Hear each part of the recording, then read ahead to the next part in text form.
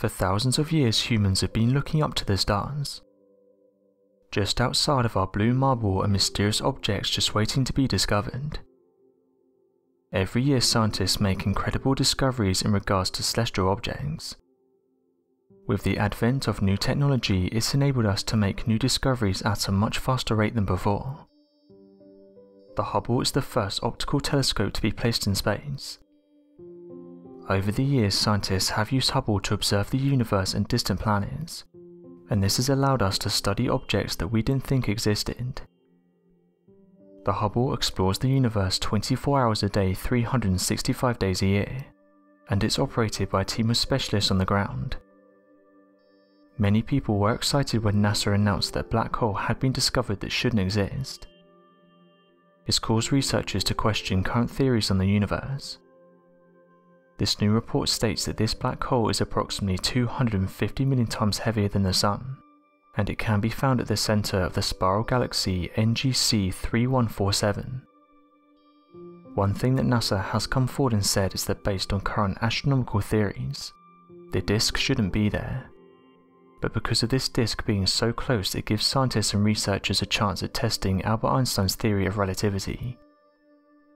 One of the researchers said the following about the discovery. We thought this was the best candidate to confirm that below certain luminosities, the accretion disk doesn't exist anymore. What we saw was something completely unexpected.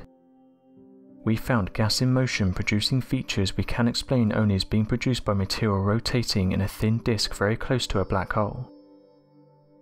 This discovery was published in the monthly notices of the Royal Astronomical Society. Lead author Stefano Bianchi went on to say the following. The predictions of current models for gas dynamics in very faint active galaxies clearly failed. NASA went on to say that this black hole in particular is malnourished, and that this is because there is not enough captured material to feed them regularly. Further saying that the observed thin haze of infalling material puffs up rather than flattening out. Another researcher said the type of disk we've observed is a scaled down quasar that we did not expect to exist.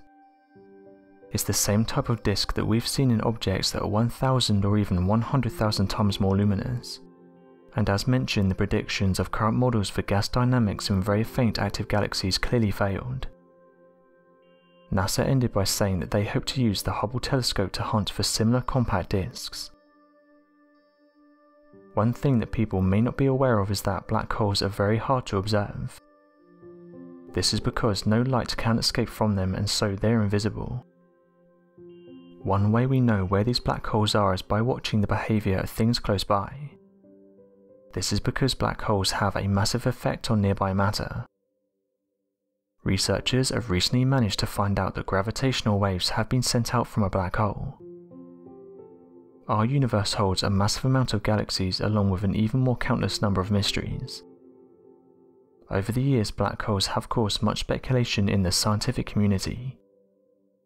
Though these findings have made scientists question the very nature of reality, these incredible discoveries of supermassive black holes have helped us to better understand the true nature of our universe. Recently, astrophysicists come forward and said that they've detected mysterious gravitational waves. It was then put forward that these were created by a black hole when it collided with a neutron star. The theory behind black holes was more than just shrouded in mystery, and it was not until a man by the recognizable name of Albert Einstein helped humanity to realize that space and time are interwoven and connected in something we refer to as the fabric of space-time. The mathematical theory of mass then being able to stretch and distort this fabric, similar to that of a rock resting on a cloth led to an innovative idea. When the scientists picked up on gravitational waves, they stated it can allow them to study astronomical events occurring in the universe. The researchers said that what they were seeing was the merging of a black hole and a neutron star, at the moment, more study is needed.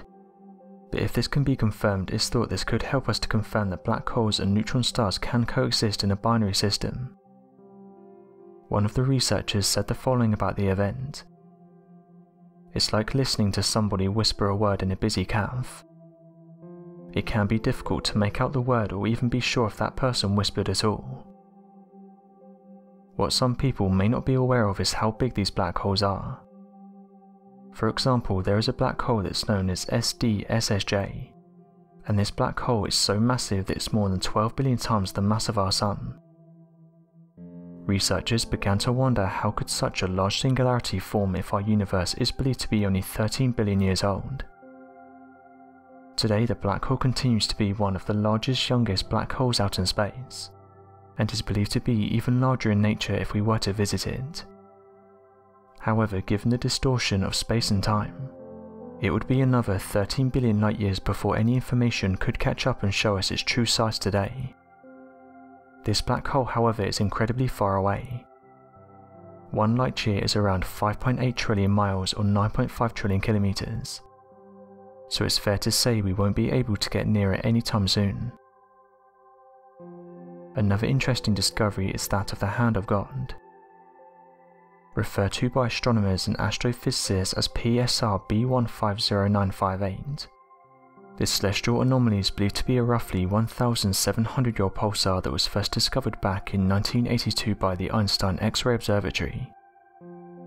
It used then state-of-the-art X-ray technology to locate the pulsar and take strange images of the entity that is noted as being more than 17,000 light years away. At the time pulsars were relatively unknown objects, that were small rotating dense masses that would emit radio waves in pulsating bursts that were otherwise impossible to explain. It took researchers years before they realized that such objects were formed as the consequence of a star imploding on itself, forcing its electrons and protons to form neutrons that would increase the mass density so large that a single sugar cube of the mass would weigh over 100 million tons. As the star implodes, its rotational speed increases, causing the formation of a massive amount of radio waves, as its rotational period emits pulses of such radio waves out in space.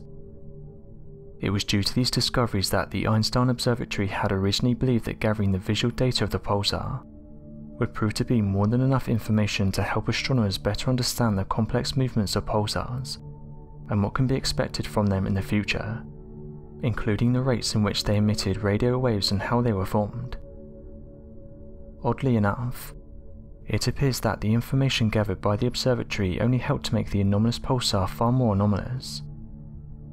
Shortly after data was gathered surrounding the PSR, the object ended up being renamed to the Hand of God, as X-ray images showed what appeared to be a massive hand stretching out from the pulsar and forming a cluster of radio waves. The hand-like structure was so mysterious that NASA experts had a hard time piecing together the projected math that would have caused such a formation to have occurred naturally. Additionally, it appeared that the pulsar was still relatively young, only 1,700 years old, and resting only 17,000 light years away. No new information surrounding the strange pulsar can be gathered, and it appears that not much more can be understood until further data can be achieved how the Hand of God forms still remains a mystery to this day.